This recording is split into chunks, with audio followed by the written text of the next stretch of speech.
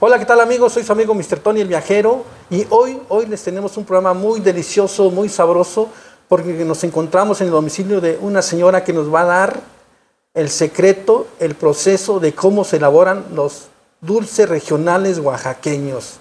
Su nombre es señora Carmela. Señora Carmela, dé el número, el contacto a usted y dé su nombre completo a la cámara.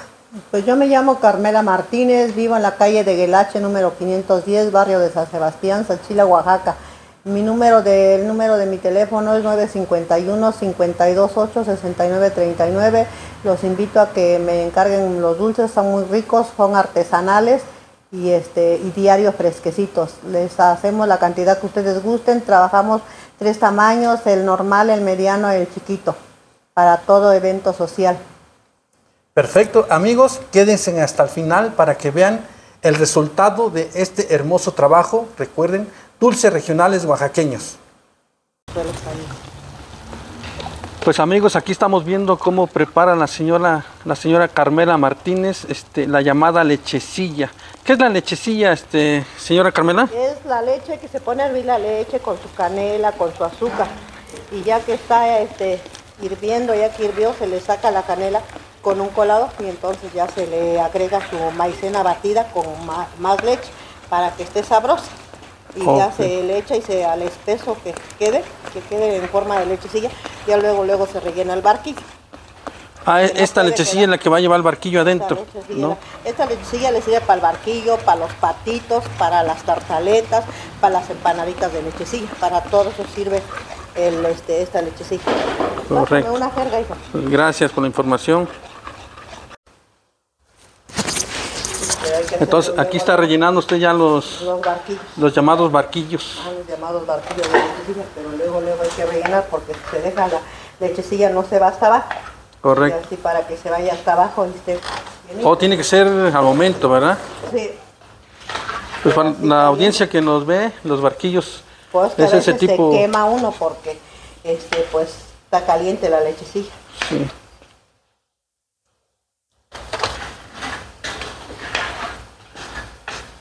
Pues amigos, así es como se preparan los dulces regionales aquí en Sachila.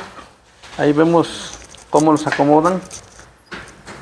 Son unos dulces muy sabrosos y ahora vemos el porqué. La lechecilla, recuerden, está preparada con la leche bronca, leche pura de vaca. Y eso es lo que le da el toque mágico a estos deliciosos dulces regionales. Y no echarle agua al ingrediente, porque si le echa un agua, pues también no tiene sabor o si le echa uno pura maicena y nada de leche, pues también no están sabrosos. Tiene que ser legítima leche y el batido con leche, al menos yo así lo preparo, pues para que esté sabroso. Sí, sí, porque mucha gente lo puede rebajar, ¿verdad? Como para comerse. mucho. Sí. Por eso es de que no están sabrosos también. Pero aquí no acostumbramos a rebajarlo, acá acostumbramos a hacerlo lo normal que es. Muy bien. Estos cones de papel se hace el batido.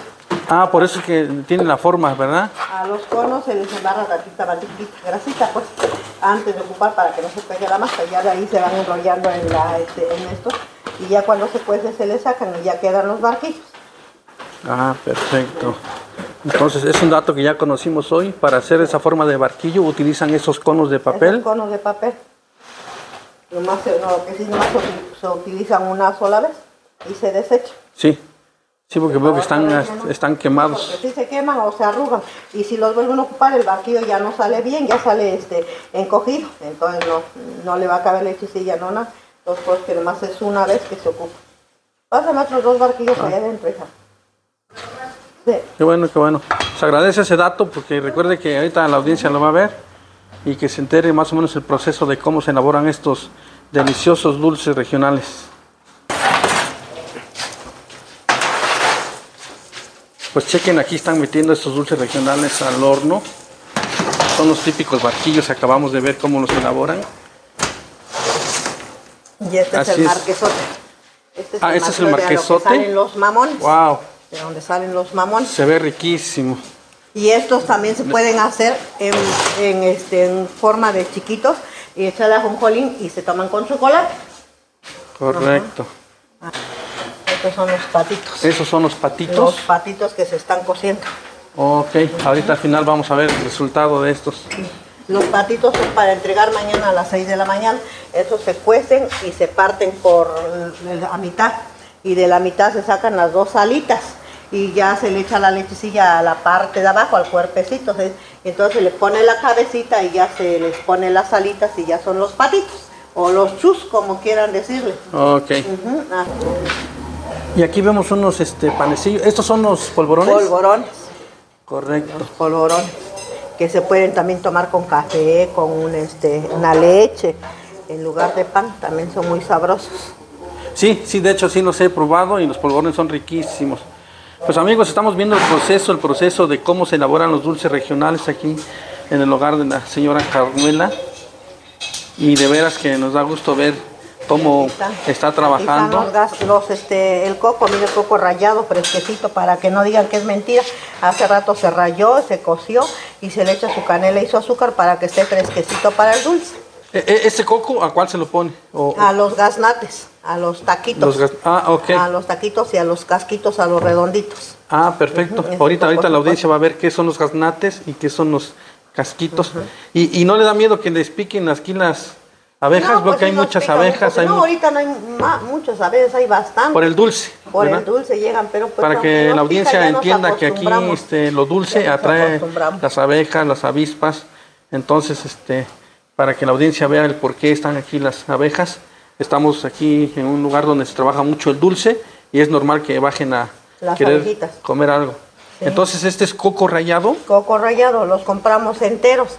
Por ejemplo, los traigo como hoy y los echan en el agua. Ya mañana temprano se escobetea y se raya y de ahí se pone a cocer con su azúcar y su canela para que esté fresco el coco porque nosotros no acostumbramos a comprar coco de tienda, ni lechecilla cuando hacemos los patos, las empanadas, el barquillo, las este, tartaletas, es lechecilla hecha en casa, no es lechecilla de manga, porque muchos compran lechecilla de manga de esa de pastigel, eh, que ahí venden este, como bolsitas este, enrolladitas de lechecilla y esa le llaman leche de, lechecilla de manga, pero nosotros la preparamos en la casa.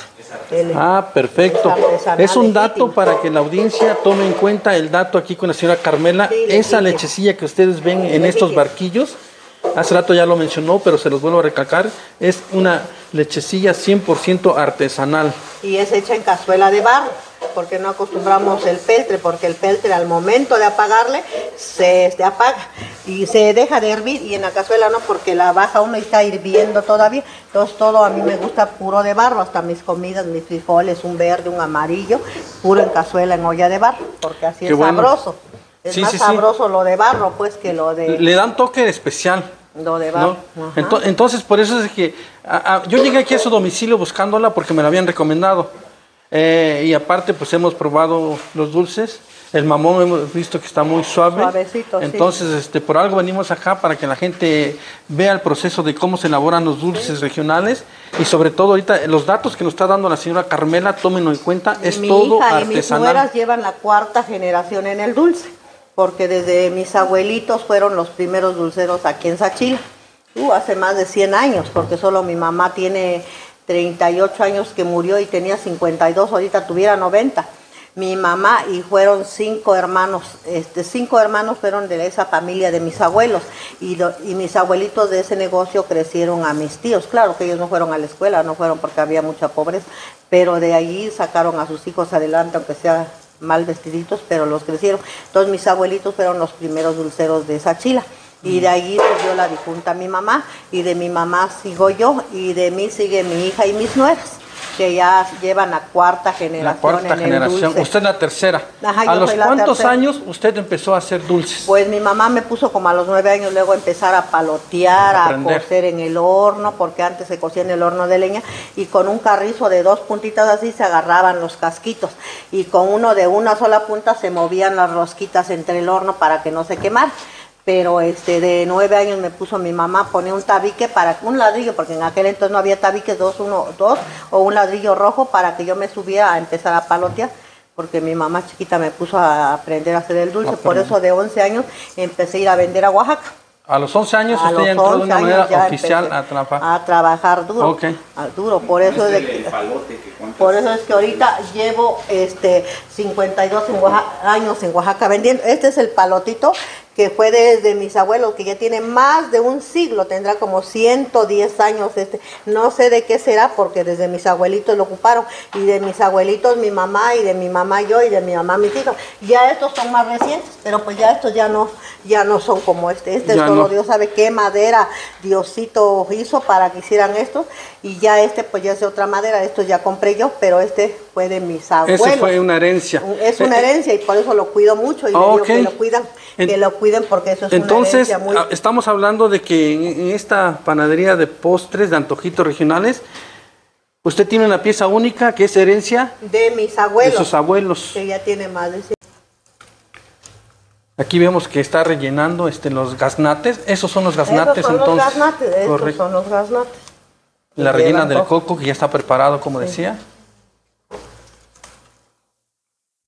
Y enseguida ya viene lo que es el merengue. El merengue, más que apenas se va a batir. E-, Eso se lo va a poner en las partes de las entradas. De las entradas, y ya ah, de allí va su botita de carmín para que le dé realce. Ah, ok. Sí. Entonces, esos son los llamados casquitos. Casquitos. Casquitos. Que son, creo que son de los dulces que más se venden, ¿verdad? Pues casi todo se vende igual, ¿eh? Casi todo se vende igual, les diré, cuando hay venta se vende todo y cuando no, pues da despacio también la venta. Pero este, esos son los mentados casquitos.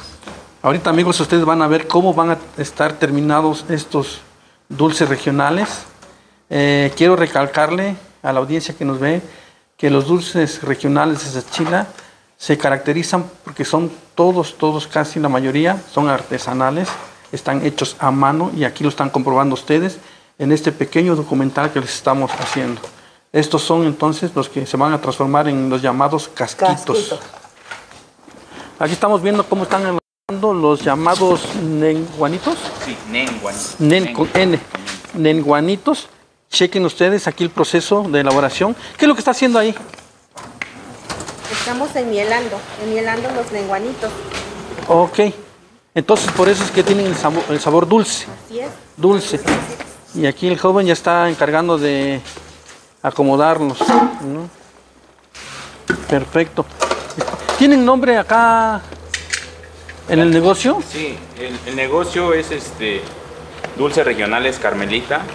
Eh, eh, esto por el nombre de mi mamá, la señora Carmela Martínez.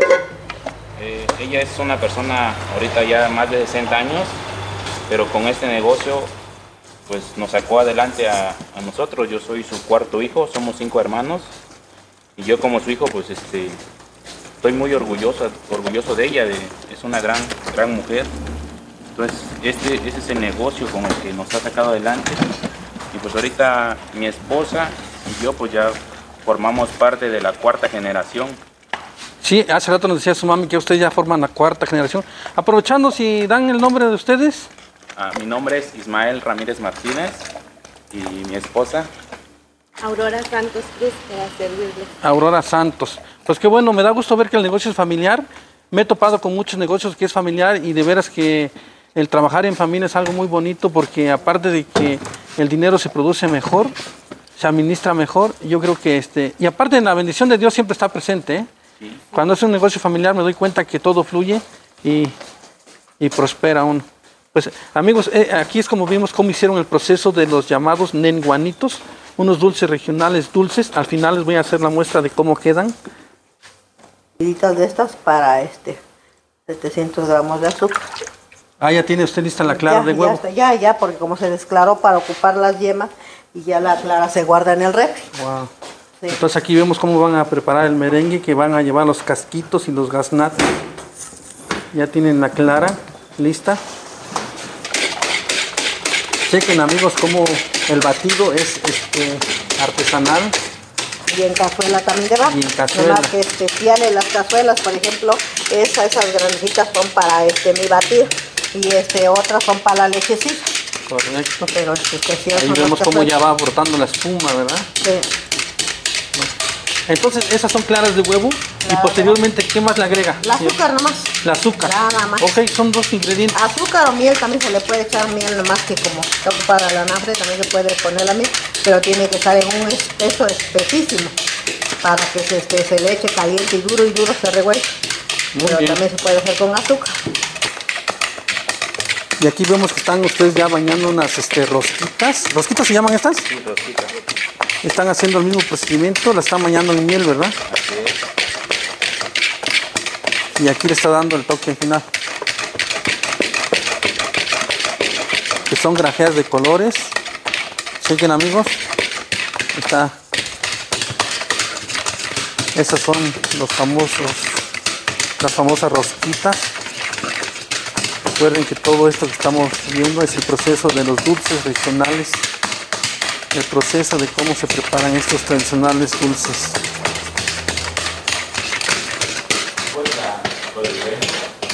Pues aquí vemos que ya el merengue está quedando, ¿verdad, señora Carmela? Ya, ya quedó, ya se le está echando el azúcar para que ya se le dé su punto final. Ya con el azúcar ya queda dulcecito. Y de ahí el proceso que es seguir a... Seguir este, rellenando los gaznates a- ya se lo ponen los gaznates y a los casquitos. y a los casquitos. Pues chequen amigos, qué delicioso se ve ya este merengue. Ya con el azúcar agarra un sabor delicioso. Y ahorita amigos, ahorita van a ver cómo van a quedar estos dulces regionales que llevan esta hermosa crema, este merengue. Porque ya ahorita dicen que en el mercado aquí lo están haciendo de chantilly. Y eso no es el chiste. El chiste es batir el blanquillo, la clara de huevo. Así es. Porque el chantilly es pero para el pastel. Y No, y aquí vimos que es el se huevo, pesa. el azúcar. Con el azúcar se pesa más, por eso es que muchos ya no quieren cansarse en hacerlo, pues. Pero pues yo gracias a Dios a mis 63 años todavía tengo, me siento con fuerzas de hacerlo. ¿Esas qué son? Tortillitas de yema, tortillitas de ajonjolín, pero Ah, le llaman ok. tortillitas de yema. Wow. Sí. Pues ya vimos que sacaron las tortillitas de yema. Dice son unas tortillitas que tienen ajonjolí encima. También se pueden tomar con Desde ahí de ese pan usted va a sacar los mamones. los mamones. Sí.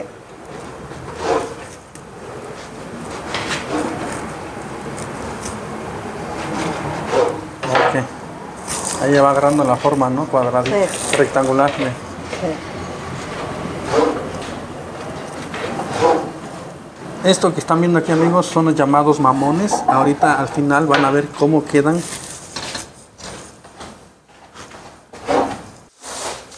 Ah, Ahí lo que va a hacer es la base. La base para el, el molde. el molde para los mamones. O Para para, el marquesote, como sea.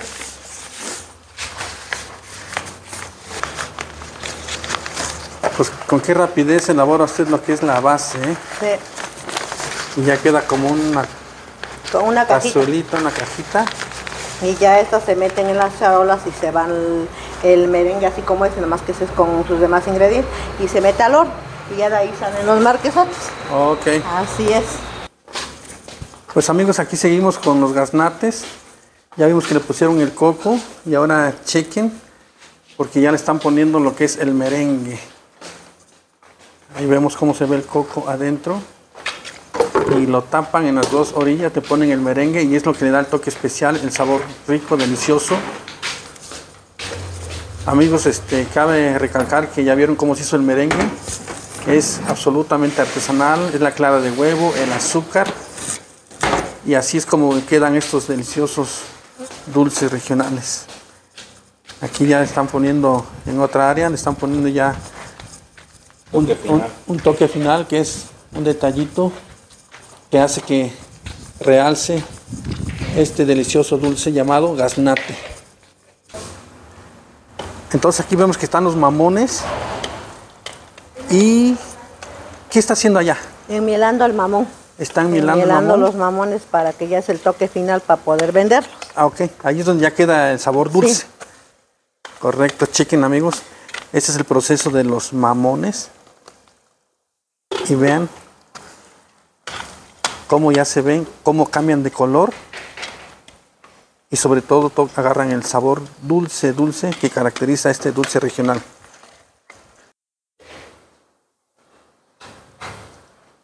Chequen amigos, este es el proceso de los mamones. Ahora le están poniendo el detallito final. Sí, para que tenga lujo. Así es.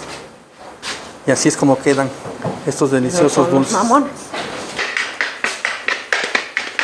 Bueno, aquí regresamos con los. Ahora van este, los casquitos, ¿verdad? ¿Eso llaman Sí. casquitos? Eso se llaman casquitos. Chequen.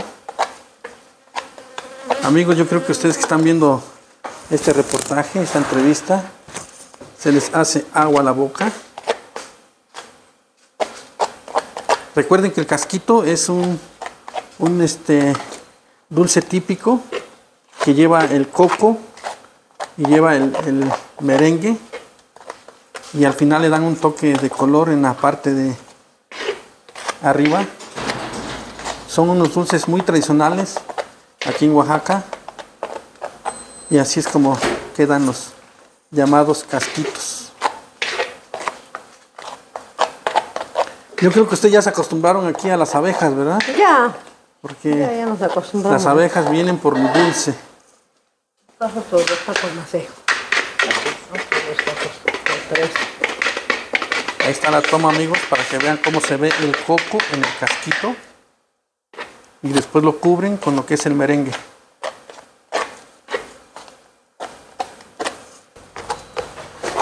Pues chequen amigos, así es como va quedando este delicioso dulce regional. Ya tiene su azúcar, ya tiene sus grajeas. Y así es como quedan terminados estos deliciosos casquitos. Pues amigos, aquí vemos cómo están sacando las, ¿cómo se llaman? Tortillitas. Las tortillitas de yema. Y aquí están unos Patito. pastelitos que se van a transformar en patitos. Aquí es el horno donde trabaja la señora Carmela. Y recuerden entonces, amigos, quiero mandar un saludo muy especial a uno de mis fans que me ha estado pidiendo un saludo. Es para el niño Christopher Leonardo Martínez Lara. Ya están tus saludos, amiguito, y sigue mi página. Recuerden, yo soy su amigo Mr. Tony el Viajero. Los invito pues para que se suscriban a mi canal, activen la campanita y reciban las notificaciones. Recuerden, amigos, contenido 100% cultural. Pues amigos, fue un gusto estar aquí en la casa de la señora Carmela. Muy amablemente nos dijo el proceso de los dulces regionales y quiero que vean cómo quedó este trabajo. De veras que es una delicia.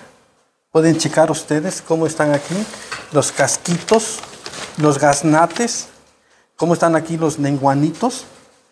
Este es el trabajo final que les quisimos presentar. Así que amigos, muchas gracias por ver este contenido. Ya saben, soy su amigo Mr. Tony el Viajero. Eh, señora Carmela, es un honor que nos haya recibido en su casa y le doy muchas gracias por esta entrevista, señora Carmela. Que Dios la bendiga y que tenga mucho éxito en su trabajo. Gracias. Amigos, Dios, porque todo lo hace Dios y a Él le pido Así es. que me siga bendiciendo para el bien de toda mi familia. Perfecto. Es muy sabia la señora Carmela, entonces yo los invito para que sigan nuestro contenido. Ya saben, contenido 100% cultural, por supuesto, en el canal de su amigo Mr. Tony el Viajero.